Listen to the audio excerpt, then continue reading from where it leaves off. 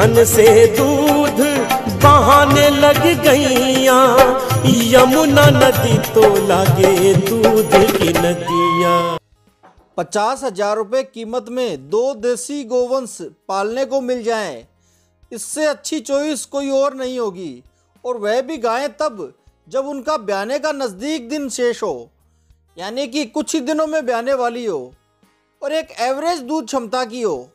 Average दूध क्षमता से मेरा तात्पर्य ये है कि देसी गायें यदि 10 से 12 लीटर का दूध क्षमता देती है, ऐसी दूध क्षमता दिखाती है तो वह निश्चित ही एक शानदार चॉइस भी होगी। जब कीमत उनकी सिर्फ़ पचास हज़ार रुपये डिमांड की गई हो, यानी कि एक गाय की कीमत पच्चीस हज़ार रुपये ऐसी कीमत में सचमुच एक अच्छी चॉइस होगी।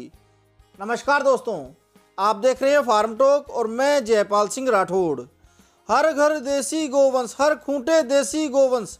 इस मुहिम को पूरा करने के लिए दो गायें दिखा रहा हूँ। ये जो पहले नंबर पर गाय आप देख पा रहे हैं, यह रेड राठी है, लाल रंग की राठी नस्ल की गाय है।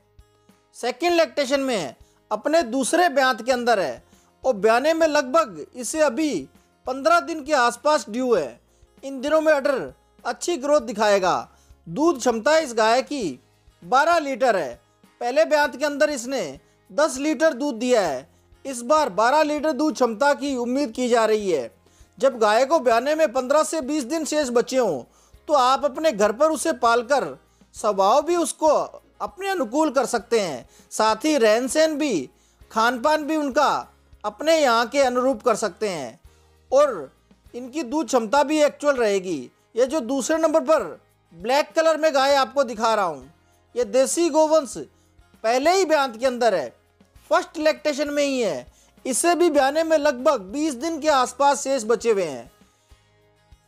और दूध क्षमता 10 लीटर की हमें प्रेम कुमार जी ने बताई है, जो इस गाय से पहले बयान के अंदर उम्मीद कर रहे हैं। विलेज कमीनपुरा, डिस्ट्रिक्ट श्री गंगानगर, राजस्थान के रहने वाले हैं।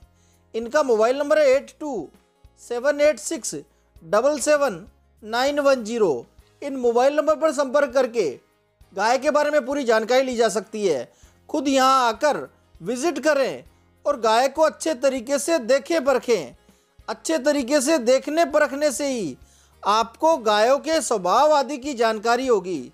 दोनों की कीमत जैसा मैंने आपको बताया है, पचास हज़ार रुपये फिफ्टी थाउज़ेंड डिमांड की गई है। कीमत में आप बार्गेनिंग भी कर सकते हैं। ट्रांसपोर्ट फैसिलिटी और चार्जेस के बारे में भी स्क्रीन पर दिए गए नंबरों पर संपर्क करके जानकारी ले सकते हैं।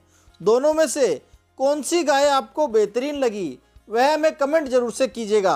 और इस कीमत में गाय और देखना चाहते हैं तो वह भी कमेंट में बताएँ। धन्यवाद दोस्तों।